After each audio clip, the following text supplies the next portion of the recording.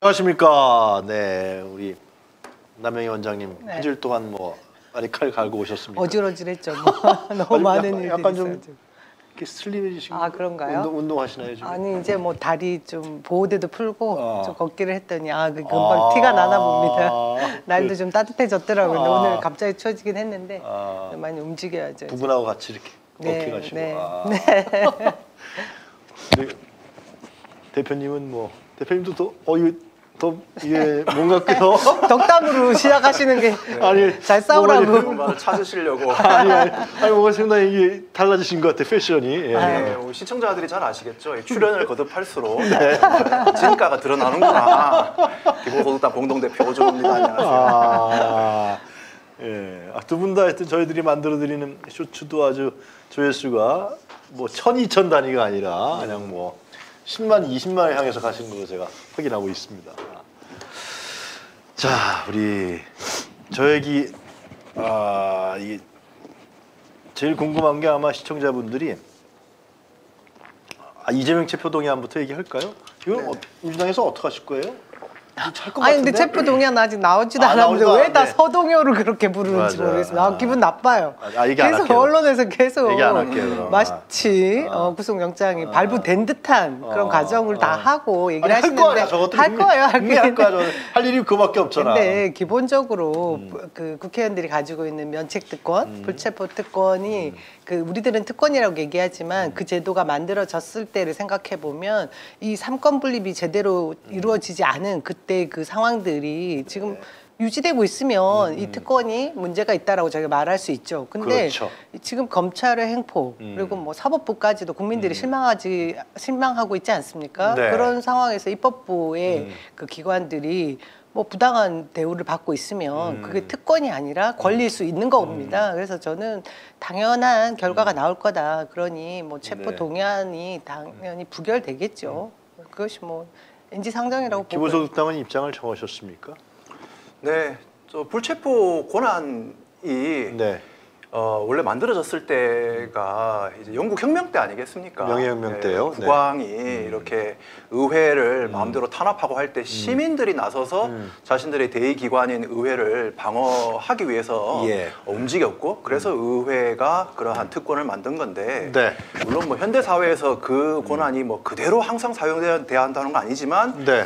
행정부가 공권력을 남용한다고 하면 입법부를 지켜야 하는 정말 장치라고 보고요. 네. 지금 윤석열 정권의 어, 그 검찰의 이런 행보가 과연 국민들이 이거 납득할 만한 공정한 수사냐 의혹이 분명히 있지 않습니까? 네. 이런 가운데 어, 이러한 체포 동의안에 대해서 저희들은 동의할 수 없고 음. 불체포 권한은 어, 의회 민주주의를 지키기 위한 장치로 좀 고려돼야 된다라고 생각합니다. 아, 네. 요새 보면 기본소득당이 민주당 다음에 제일 야당입니다. 너무 잘하고 있고요. 민주당보다 더 잘하는 것 같은데. 아, 정말 정의로운 아. 예, 그리고 국민들 그 민심을 제대로 떠받드는 그런 얘기들만 하고 정의당은 있잖아요. 약간 좀 뭐. 정의당의 정의 업당으로 유명한 당입니다 지금. 아니 근데 이정미 대표는 좀 다른 것 같은데 조금 청년 정의당에서 이제 그러는 것이지. 어, 이제 좀 문제가 되기도 하고 정의당 내부에서 당원들의 반발이 엄청 심했던 것 같아요. 제가 얘기를 들어보니까 예. 그래서 정의당 지도부의 기류와 정의당 당원들의 기류가 달라서 네. 오늘 보니까 좀 수습하려고 애를 쓰는 것 같긴 하더라고요. 네. 그 내용인 즉슨 뭐 지금 이재명 당 대표의 음. 그 체포 동의안을 가결시키는 것이 우선이지 음. 대장동 특검이 먼저가 아니다. 그리고 김건희 특검이 먼저가 아니다. 뭐 이런 얘기를 했습니다. 청년 정의당 대표는 그 청년 정의당은 뭐 정의당의 내부에 있는 청년 당 청년 정, 청년들이 있는 정의당이죠. 거기도 정의당이죠. 큰 틀에서는. 아, 근데 어제 이재명 대표가 YTN인가 인터뷰한 거 제가 우연히 봤는데 청년 정의당의 입장과 자기 정의당의 입장은 다르다 그렇게 또 얘기를 하더라고. 아, 말이 많으니까 그런 거. 뭐 정의당 입장에서 음. 어, 민주당과 또 차별화를 해야 된다고 음, 하는 그렇죠. 어떤 전략은 이해할 수 있지만 네. 저는 약간 터널 효과 같은 거라고 봐요. 네. 음. 그러니까 터널에 들어가면 입구만 보이잖아요. 그러니까 민주당과의 차별화만 보고 있으니까 음. 지금 이 김건희 여사의 어떤 의혹에 대한 국민적인 분노, 검찰의 음. 그렇지. 불공정성에 대한 그렇지. 분노는 보이지 않고 음. 어떻게 하면 차별화 할 거냐 이것만 좀 보이는 것 같습니다. 왜 그럽니까? 정의당은 왜 민주당 소수 정당한테는 좀 이중대라는 딜레마가 있다고 생각하긴 합니다. 이런 네. 차별화라는 게 중요하죠. 하지만 저는 또 기본소득당은 음. 소수 정당이 차별화를 하기 위한 전략은 음. 이 거대 정당들이 제대로 말하지 않는 것을 보다 더 적극적으로 말하고 국민의 요구를 보다 적극적으로 말하고 공론화를 함으로써 이 차별화를 이뤄야 하는 거라고 생각합니다. 그런 의미에서 지금 민심을 읽어야 한다. 좀 민심이 어디 있는지 좀 보지 못하는 것 같아서 안타깝습니다. 하여튼 민주당하고 차별하는 게 정의당의 생존 조건은 아니겠지 설마. 그건 아니죠. 아니겠지 그리고 설마. 이 저는 대한민국에 뭐 보수라는 제대로 된 보수가 있다고 생각은 하지 않지만 뭐 진보 보수 양날의 그 날개가 굉장히 중요하고 균형을 갖춰서 음. 앞으로 전진할 때 정치가 올바르게 성장하고 국민들에게 좋은 삶을 보장한다 이렇게 봅니다. 그래서 진보 진영에 있어서 정의당의 그 파이 굉장히 소중한 가치로 음. 네. 여겨 왔거든요. 근데 어느 순간부터 그 노동자를 대변하겠다라고 했던 정의당의 그 가치가 훼손되는 부분들을 많이들 목격하셨을 거예요. 그것뿐만 아니라 뭐 민주당 이제 이중대로서의 역할을 하지 않겠다라는 그런 표현들이 나오는데 민주당 이중대의 역할을 저희가 요구한 적도 없을 뿐더러 그런 식의 역할을 하지 않은 지가 꽤 오래된 것 같거든요. 그 마- 이중대라고 하면 뭐 어떤 표결을 할 때 같은 뜻을 가진 사안에 대해서 뜻을 같이 할 수 있는 겁니다. 근데 그것을 이중대라고 표현하는 것은 그들 스스로 자신들의 그 가치를 훼손하는 표현인 것 같고요.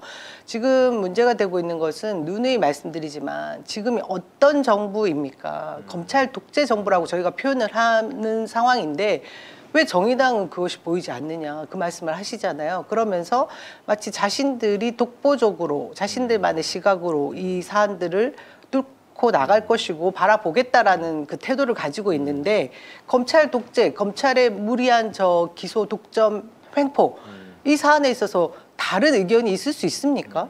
그러니까 그 자신들의 위치만 중요하게 생각하는 것이고 이 사안의 본질은 전혀 왜곡되어 있기 때문에 예. 지금 민심과 동떨어져 있다라는 말씀이 그럼에도 적합한 것 같습니다. 불구하고 그럼에도 불구하고 정의당 내에 다른 이견이 있다고 말씀하시지 않았습니까?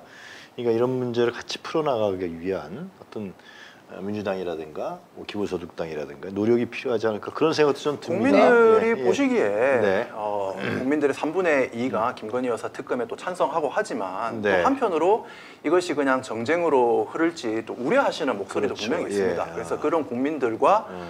또 걱정하는 소수 정당들을 설득하려면은 음. 이것이 단지 어떤 제1야당의 이해관계에 대한 달린 것만이 아니라 음. 이 검찰의 불공정한 어떤 수사에 대한 국민들의 의혹을 불신하고 음. 검찰의 사법 권력이 국민이 선택한 정치적 대표자를 좌우할 수 있어 버리는 음. 주권 재민을 침해할 수 있는 그런 상황을 막아야 한다고 하는 그렇죠. 예. 저는 좀 공공선의 원칙에서 접근해야 한다고 봅니다. 그런 의미에서 용해인 의원이 또 어제 이렇게 기자회견 하시고 아, 그랬어요? 또, 예, 음. 특검을 2월 중에 음. 어, 이제 도입하자라고 하는 어떤 그런 어떤 특검입니까? 지금? 쌍- 두 특검 개의 얘기했어요. 특검 모두 민주당 도입하자, 쌍특검을 도입하자고 기자회견을 하셨거든요. 음. 이런 목소리로 소수 정당이지만 네. 어, 오히려 국민들의 민심의 바로미터가 돼서 어, 그래서 국민들도 설득하고 또 다른 어떤 정당들과 동료 의원들도 설득해 나가려고 합니다. 그게 빨리 해야 된다 그러더라고 어제 출연하신 어떤 변호사 한 분이 에, 이게 도이치모터스 주가 조작 사건 1심 선고가 났잖아요. 네. 근데 검찰에서 항소를 하지 않고 또그 권오수도 하- 항소를 하지 않으면은 이 공소시효가 이게 적용이 안 된다는 거야.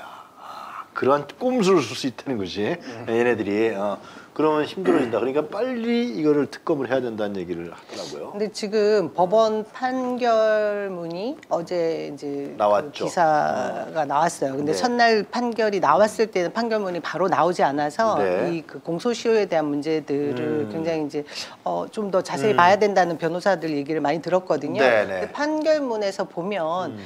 일 1차 시기위, 2차 시기, 그러니까 이것을 단계로 5단계로 나서 예. 일, 1, 2차 시기의 주포, 음. 그리고 2차부터 5차까지 의 그 주포를 나눠서 지금 판결을 내렸습니다. 음. 네. 그래서 공소시효 만료된 시기가 2009년부터 1단계. 2010년 10월까지 음. 1단계로 보는 그 시기는 만료됐다고 보지만 2차 시기부터 다시 5차까지 음. 포함되는 2단계 이때의 그 공, 종, 조작, 아, 주가 조작 부분에 네. 있어서는 포괄 일죄를 적용하기 때문에 제가 볼 때는 공소시효 문제는 아직 살아 있다. 거기에 또 판결문 내용에 아, 37번이나 김건희 씨를 소환 조사하지도 않았음에도 불구하고 이. 조가 주가 조작에 관련돼 있다라고 말을 해놨지 명시를 해놨지 않습니까? 그러니까 뭐 지금 대통령실에서 주장하는 거나 그리고 일각에서 공소시효를 문제 삼는 부분은 좀 걱정을 덜었다는 생각을 하거든요. 저희 제가 이제 뭐 그 유사들에게 들은 네. 얘기로는 이런 면에 있어서 특검 발의는 뭐 제가 볼 때는 시기도 중요하기도 한데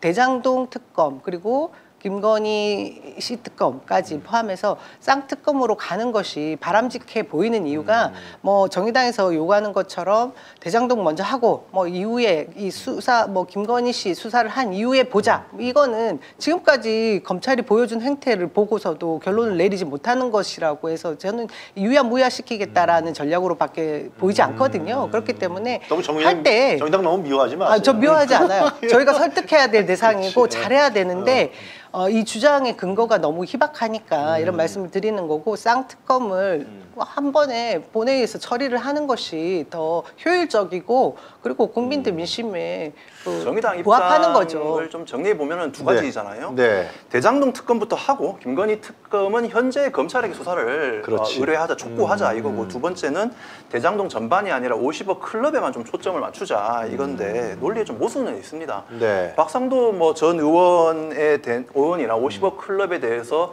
검찰의 수사가 거의 부실했 던 거잖아요. 그죠? 네. 이것이 대장동 특검을 하자는 근거가 되는데 그 검찰에게 김건희 수사는 제대로 해라라고 하는 것 자체가 좀 모순이고 어.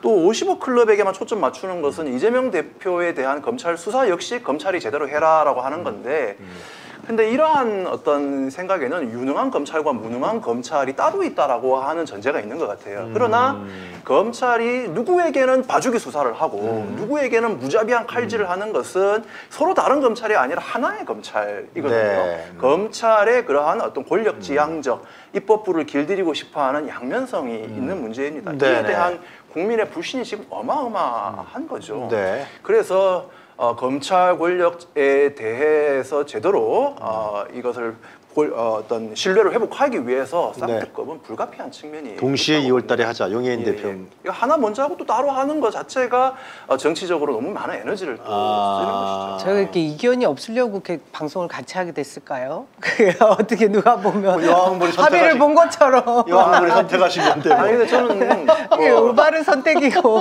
이 검찰 권력에 대한. 뭐 문제 제기에 대해서는 뭐 저희 네. 생각이 비슷할 수 있는데 사실 정치권에 또 민주당이 요구하고 싶은 것이 있기는 합니다. 아, 예, 얘기하세요, 그냥. 무엇이냐 그냥 마음껏 하세요, 그냥. 지금 이 검찰 권력이 검찰이 이러한 막 칼을 휘두를 때 이재명 대표나 민주당이 어떤 피해자로서만 표현할 게 아니라 이 대장동 같은 사건의 재발을 막 으려면 무엇을 해야 되는가를 생각하고 추진을 해야 됩니다.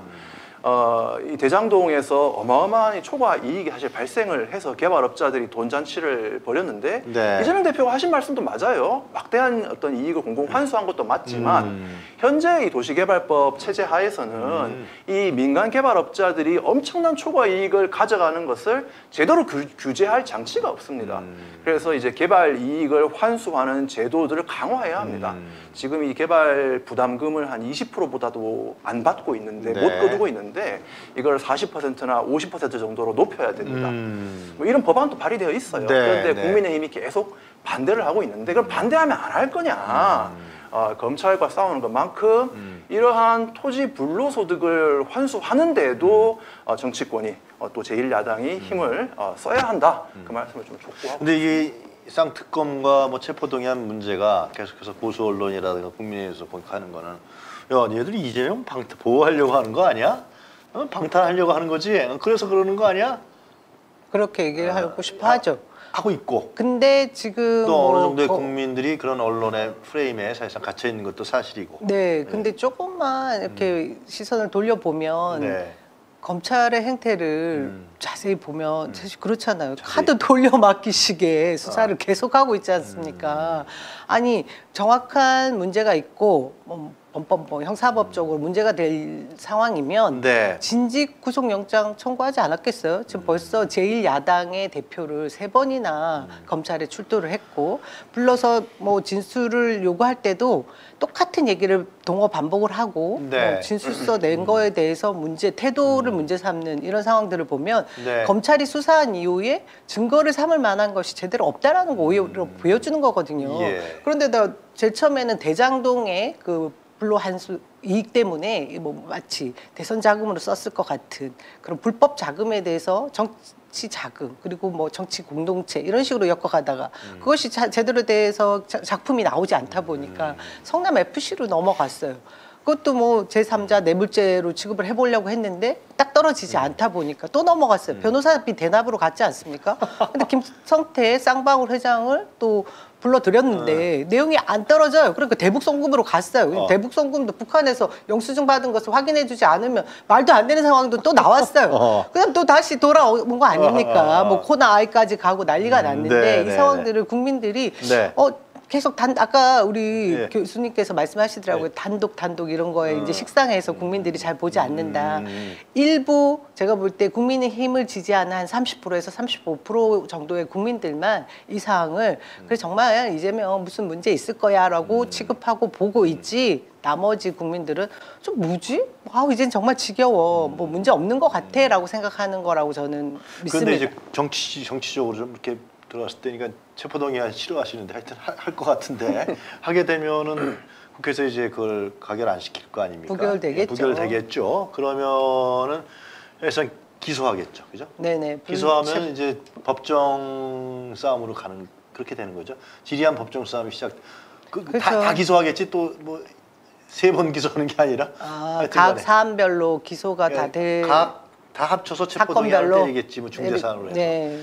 그러면은 법정 투쟁으로 재판을. 재판 재판 투쟁으로 재판 싸움으로 가는 거니까 그렇게 되면 이제 이재명이 힘- 너무 피곤하고 힘드시겠죠. 아니, 아니, 그래도 좀- 그래도 좀뭐 재판 더- 과정에서 그렇죠. 짐을 더는 거 아니에요? 그렇죠. 법원에서 그거를 바로 뚝딱딱 해갖고 3개월 만에 무죄 유죄 할 것도 같지도 않고 그렇죠. 어, 예. 그러면은 저는 이 민주당의 분위기도 많이 달라지지 않겠냐 생각도 드는데 하여튼간에 네. 아니 저는 크게 변화될 것은 없다고 봅니다. 아, 그래요? 그렇게 바라는 사람들은 아, 그러니까 더 좋은 방향으로 갈 거라고 아니면 지금 아, 일단 상황에서 정리가 되는 거 정리가? 되니까 일단 더 나아지고 저. 한 곱이 넘겼다고 생각하는 게 아. 대부분인 것 같습니다. 아, 저희 그래요? 아. 민주당 내부에서 어. 반명이라고 일컬어지는 그 분들도 계시잖아요. 의원들 반명이 중에. 있어요? 비명이 아니라 아예? 뭐 반명 비명이라고 아, 일컬어지는 분들이 좀 그래, 있죠 소수가 그래. 있죠 근데 그분들도 이제 다른 목소리를 내지 않는 이유가 아. 처음에 의혹으로 삼았던 뭐 대장동 건 이나 여러 가지 문제들을 음. 네. 지켜봐 왔는데 음. 검찰에서 뾰족한 뭐 해답을 내놓은 적이 없다라는 걸 이제 아시게 된 거예요. 음. 예. 그러니까 1년 정도 수사 과정이. 그렇죠. 이제 지나온 과정들을 봤고 음. 네. 거기에서 이탈하지 않는 당원들 그리고 그래요. 지지자들의 마음까지도 읽은 거죠. 그래서 저는 이 모든 과정이 이재명 어, 대표 혼자에게 가해졌던 이 검찰의 가혹한 문제가 민주당 전체의 그 하나의 어떻게 보면 뭐 단일 대우로 더 알겠습니다. 뭉쳐갈 수 있는 기회가 장애, 장애 됐다. 집회도 정기적으로 할. 계획이에요? 정기적이라고는 하지 않더라고요. 네. 근데 저는 이번에. 어, 토요일 돌아오는 토요일 날 집중 집회가 있지 않습니까? 예, 있습니다. 17일 아, 날. 그때 나오실 그때 는 좀 했으면 좋겠어요. 김건희 특검도 그렇고 대장동 특검도 얘기해야 될 시기 아닙니까? 남희 원장님이 지역구 저는 국민들을 가죠. 데리고 나오세요 그냥. 저는 늘 천- 갔습니다. 천명 천명 데리고 나오세요 그냥. 해야죠. 알겠습니다. 자, 이건 다시 또 들- 돌아간 제가 얘기를 자꾸 왔다 네, 갔다 네, 해서 네. 죄송합니다. 그러니까 이 2월 달에 대장동 특검과 김건희 특검이 국회 본회의에서 통과 가능한가요? 난 그거부터 여쭤보고 싶어요. 오진호 대표님한테. 180석이 넘어야 아니 180석이 180석 넘어야 되는 거예요. 네. 그럼 정의당의 협조가 필수 불가할 것 같은데. 소수 정당으로서 기본소득당의 역할을 좀 해야 되겠죠. 네. 음. 아까 말씀드렸듯이 국민들도 뭐 특검의 필요성에는 공감하지만 이거 정쟁 아니야? 뭐라는 음. 심리도 있을 수 있고 네. 음. 또 소수 정당으로서는 이렇게 하면 민주당에 그냥 묻혀가는 거 아니야? 라고 하는 걱정도 있을 수 있습니다. 하지만 어, 이 특검은 어, 겨- 검찰의 어떤 입법부 길들이기 주권 재민에 대한 침해를 음. 막고 주권 재민 원칙을 이제 바로 세우는 것, 네. 또 사법부의 신뢰를 바로 세우는 것이라고 하는 음. 어, 공공선의 어떤 차원에서 어, 오히려 소수 정당들이 더 적극적으로 국민들을 설득할 것이 어, 해야 될 문제다. 네. 아, 이런 것을 뭐 저희들도 설득을 해 나갈 거고 물론 뭐 민주당의 역할이 또 더 커야 되겠죠. 예. 근데 정의당에서 입장을 바꿀까요? 예를 들면 먼저 대장동 하고 네. 그다음에 김건희 하자. 뭐 김건희 수사를 보자 이렇게 했는데 그래서 정의당에서 입장을 바꿔서 두 개 다 합시다. 이렇게 할까요? 정의당도 그 정당인데 아무리 국민적 압력이 세다 그래도 정의당 내에서도 뭐 아까 언급하셨지만 음. 이에 대한 이견들이 꽤 큰 것 같아서 어, 당 지도부나 의원단이 과연 네. 어, 결정적으로 뭐 체포 동의안 가결이라든가 뭐 그런 정도까지 갈지는 좀, 좀 두고 봐야 될 것 같습니다. 그건 뭐 민주당도 그 본인한테 맡겨야 되는 것이 당론 정황이는 애매하지 그거는. 정의당이 일정 부분 어떤 다른 생각 때문에 이니셔티브를 지기 위한 그런 생각 때문에 지금 뭐 김건희 특검이나 민주당에서 주장하는 대장동 음. 특검이나 이런 데 동의하지 않는 것도 있지 않을까 하는 생각을 하는 분도 계세요. 뭐 정치적 선거 이해관계. 제도 개혁 부분에서 아. 본인들이 얘기하고 싶어 하는 아. 주장하는 부분을 좀 끌고 가고 싶어 음. 하거나 뭐 지역에서의 공천제 부분에 있어서의 좀뭐 주도권을 아, 그리고 쥐고 좀 싶어 하는 그런 거 좀 팍팍 들어주면 이런? 문제들이 있는 것 같아요. 음. 그래서 그것은 뭐 민주당 지도부 그리고 정의당 음. 지도부가 만나서 충분히 대화로 그 정치라는 게 그런 거 아닙니까? 하나 주고 하나 받고 뭐 서로 소통하면서 하는 부분이 있을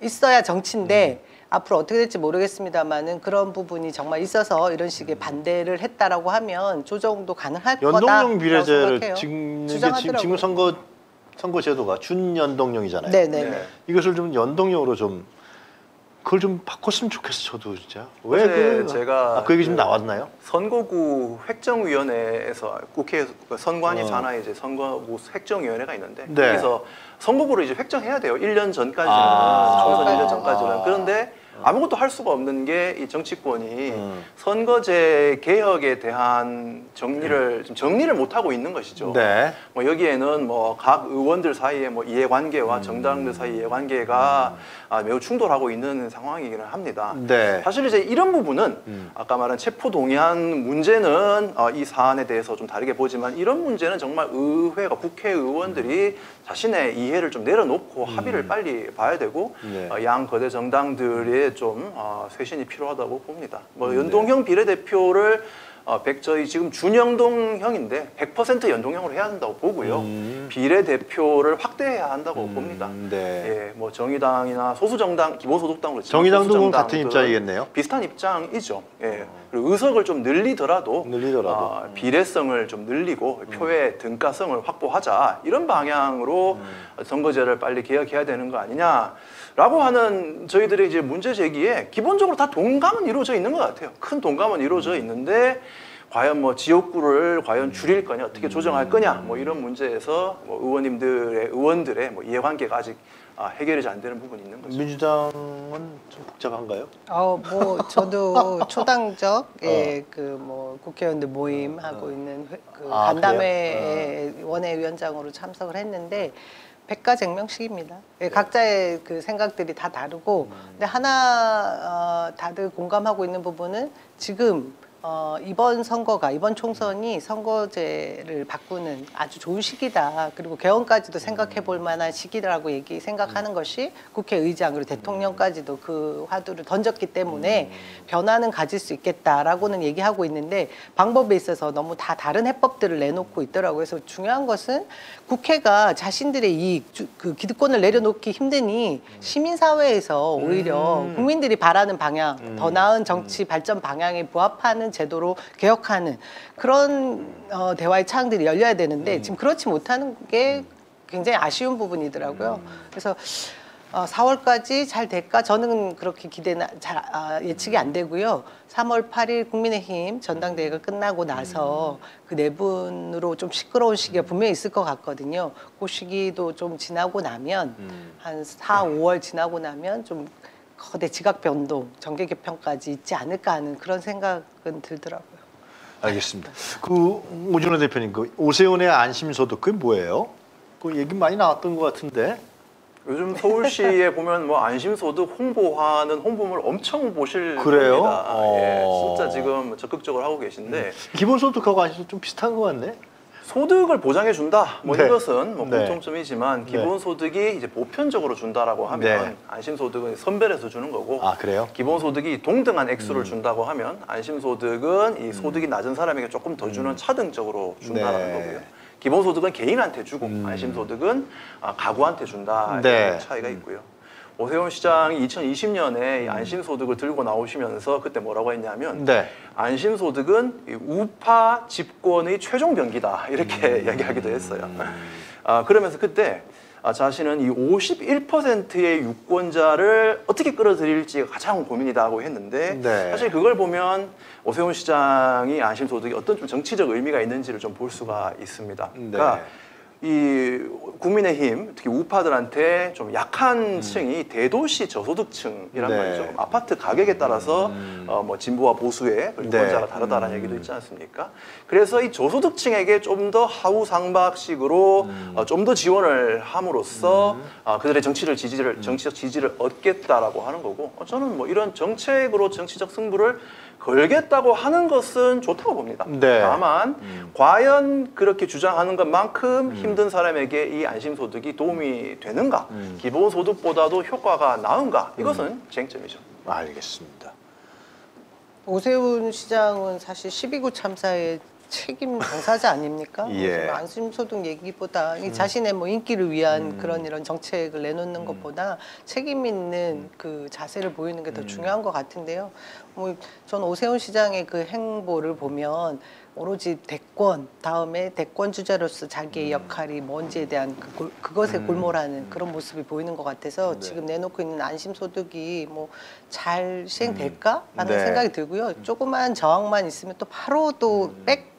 한 백스텝하는 특징을 가진 분 아닙니까? 그래서 크게 기대는 안또 되지만 눈물도 잘 흘리죠. 그러시죠. 뭐, 뭐 여린 부분도 있고 뭐 그래서 뭐 좀 폄훼하는 부분이긴 하지만 아니, 저는 별로 제대로. 그러니까 제대로 할 것 같지는 않습니다만 네. 누구에게라도 혜택이 좀 돌아간다고 하면 기본소득까지 나가는 걸 반대하는 사람들이라고 했던 분들이 50%에게는 좀 도움이 된다라고 하는 안심소득을 내놓는다고 하면 전 시범 사업을 좀 잘 해봤으면 하는 생각도 있습니다. 아니 저거라도 좀 저 시민 문양서.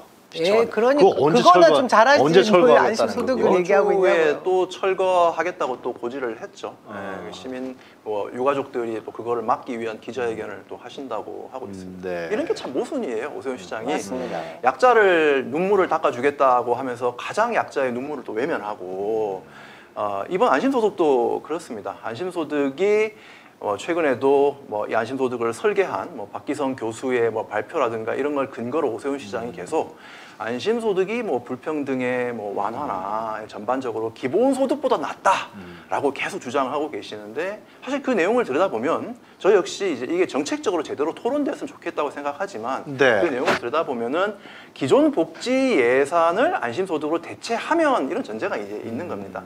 즉 기존 복지 예산을 늘리지 않고 그 아. 안에서 복지 구조 조정을 하겠다. 네. 복지 확대가 아니다. 음.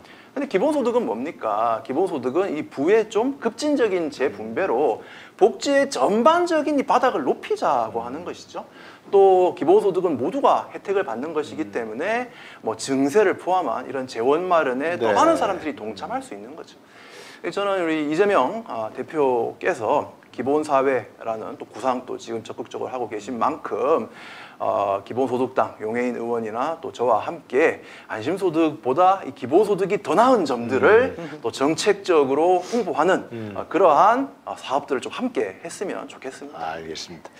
하여튼 2월은 이제 특검이실 특검을 관철시킬 거냐 민주당이 중심이 돼서 아니면 그냥 뭐 조선일보나 조중동에서 얘기하는 대로 정의당이 특검을 반대하기 때문에 안 될 것이냐 뭐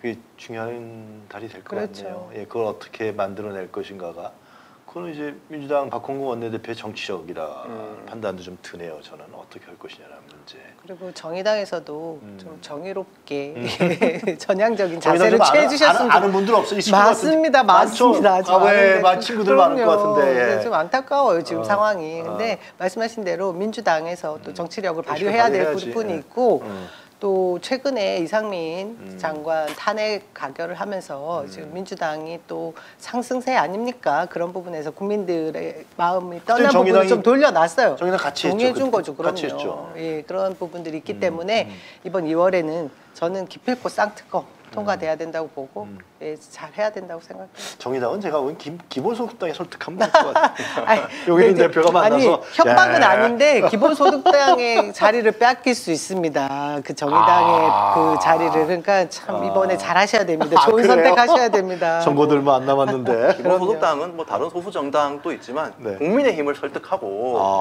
국- 국민들을 설득하고 민주당도 잘못하면 항상 쓴소리하고 견인하는 그런 역할을 하겠습니다. 아 지금 하나 남은 당이 있잖아요. 시대 전환당. 아유. 거기는 어떻게 돼? 거기는 뭐 국민의힘 이중대 아니고 뭐저한 오중대 아닌가 모르겠습니다. 그래요. 거기는 얘기가 안 됩니다. 네. 조정훈 의원께서 매우 합리적인 측면이 있으신데 좀 네. 너무 국회의원이 아니라 좀 논평가 같은 아. 음, 그 같은 느낌이 있습니다. 어. 아, 본인이 법사위 또 위원으로서 또 이러한 중차대한 정치 사안에서 어, 역할을 좀 해야 되는데 아, 모두를 이렇게 좀 나무라는 어떤 그런 왜 그래요? 어, 스탠스를 원래 학교. 선생님 하셨나요, 전에? 아 그렇진 않으시죠. 네. 아니 어느 순간 이상하게 변한 것 같아요. 갑자기 현재의 일 잘 아실 거 아니에요. 법사위 가더니 변했나? 대표님도 어, 뭐 친하진 않지만. 예, 잘 알죠. 예, 어. 뭐 좋으신 분입니다. 아 그럼 잘 좀 설득 좀 해보세요. 어? 중차대한 사안에 대해서 이건 정당과 정파의 문제가 아니. 아까 처음에 얘기하셨지만 정파나 정당이라든가 이해관계 문제가 아니지 않습니까? 대장동 특검이라든가 김건희 특검은 엄청난 사안인데. 뭐 비단 뭐 조정훈 의원뿐 아니라 이 음. 사안에 좀 망설이고 계시는 뭐 의원들에게 음. 말씀하신 것처럼 이것은 사법 권력의 어떤 신뢰를 바로 세우고 음. 주권 재믹 원칙을 바로 세우기 위한 것이다. 어느 한 뭐 정파의 음. 이익을 좀 넘어서는 것이다. 이렇게 저희들은 좀 거기에 말하고 가장 있습니다. 큰 문제는 국민의 힘이죠. 국민의 힘이 곽상도 50억에 대해서도 한마디 논평이 없지 않습니까? 이게 아이고. 정당이라고 할 수 있어요. 아우 제껴놨어 이미 거기는 기대를 안 해. 그러니까 상식이 안 통하잖아. 또 전당대회 봐봐 이게 상식이야. 야 아직 저는 누가 될 것 같습니다. 안철수 때요, 김기현 때요. 그러게요. 참 어떻게 될지 모르고 결선 투표제를 만들어 놔가지고 본인들도 지금 헷갈릴 겁니다. 이거 어. 어떻게 되는 거야? 천하람이 갑자기 등장을 하질 않나. 그래서 저는 뭐 야.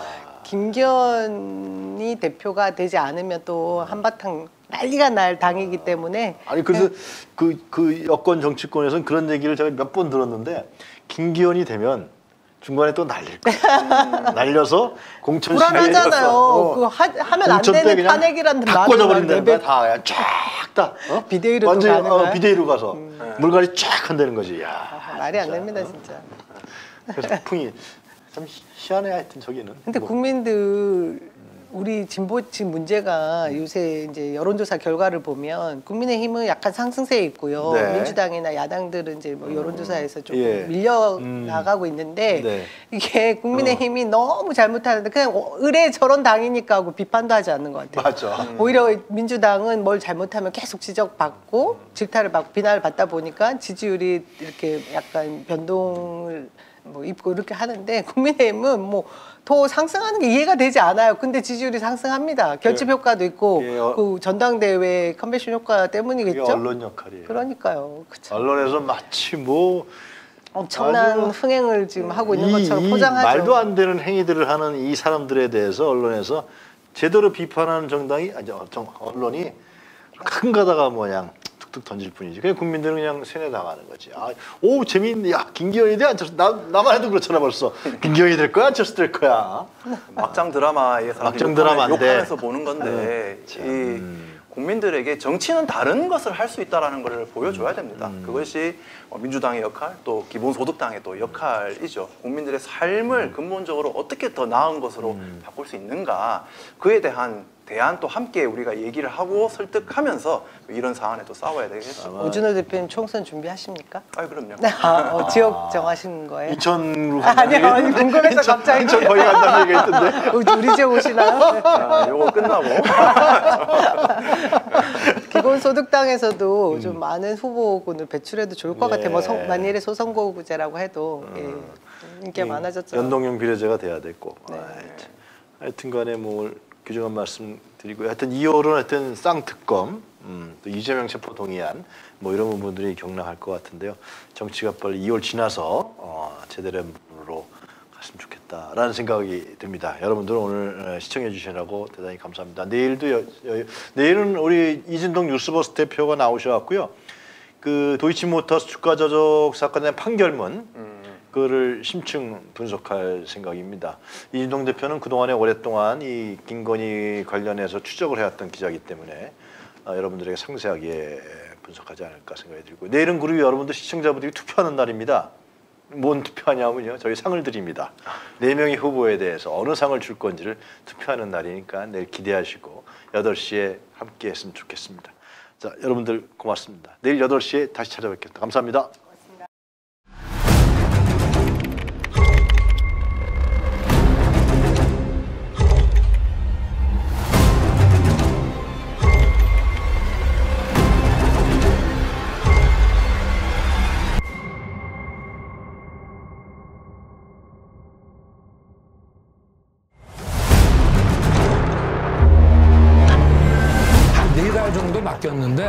손실을 봐서 저희 집사람은 거기서 안 되겠다. 그 사람하고는 절연을 했습니다.